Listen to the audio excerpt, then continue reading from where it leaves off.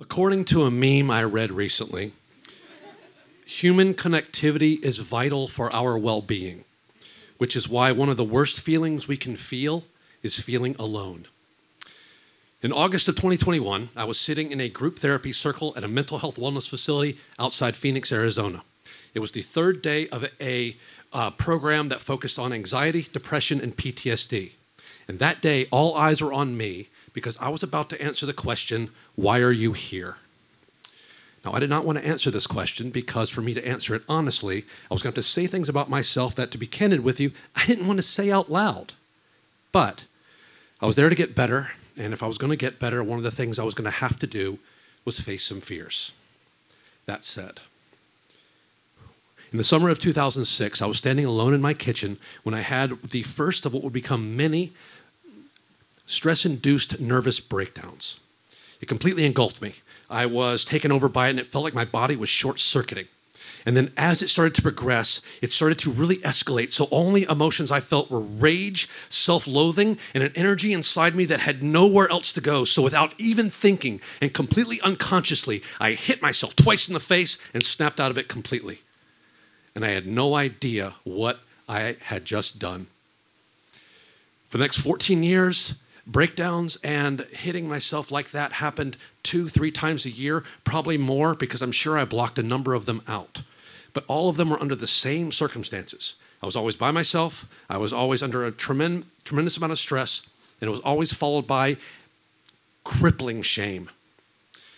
Now, I have never hit another person, nor have I harmed an animal. But no one could know this about me because I did not want them to be scared for me, or worse yet, scared of me. So therefore, I kept it secret, suppressed the shame, and because of that, I felt alone. And I hated feeling alone. During COVID quarantine, the isolation of it brought every emotion that I'd ever suppressed to a head, and I had a breakdown of all breakdowns, and I finally admitted to myself and others that I needed help. I went to a series of doctors, answered thousands of questions, got a brain scan, and was officially diagnosed with 88 with depression, anxiety, and PTSD. And while I was getting that diagnosis, the doctor said to me nonchalantly, "You know why you hit yourself, right?" And I said, "No."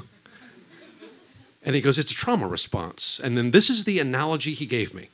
He goes, You know, on the TV show Happy Days, when the jukebox is just malfunctioning, but then Fonzie walks over to it and hits it, and then it starts to work again?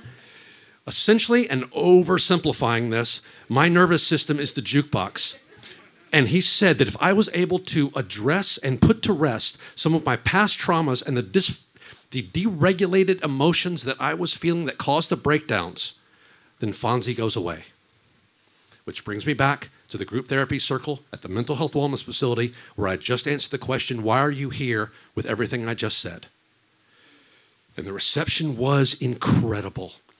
I remember the relief I felt as everyone in that room gave me so much positive energy, and I felt so much kindness, understanding, and empathy coming my way. And as a child, an only child who always loved being the center of attention, it was exhilarating.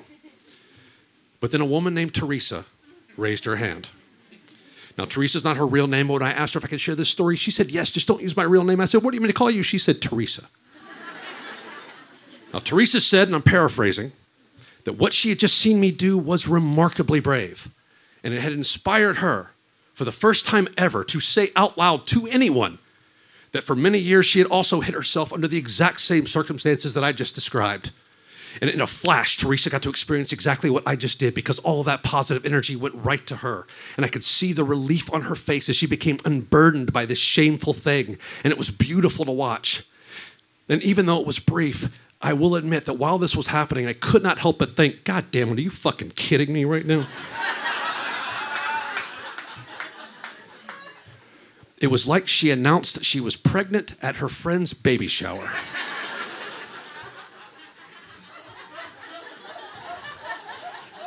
I got over that quickly and we went on break and I was standing in the hallway and Theresa came up behind me and she really playfully said, Hey, didn't mean to steal your spotlight back there. And I whipped around and I said in a tone that was so obviously kidding, I said, Don't you ever steal my spotlight again. Hitting yourself, that's my thing.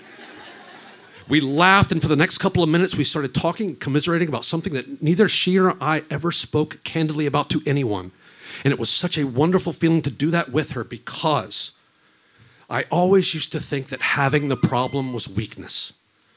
But on that day with Theresa, it became so clear to me that not addressing the problem was weakness. And as we were about to head back into the room, there was still one more thing I needed to know. And I said, Theresa, you've never told anyone before, and you didn't have to. Why today? And Theresa took a moment and, with such kindness, said something to me I did not realize how much I needed to hear when she said, Because I saw how hard it was for you to say, and I didn't want you to feel alone. Thank you very much.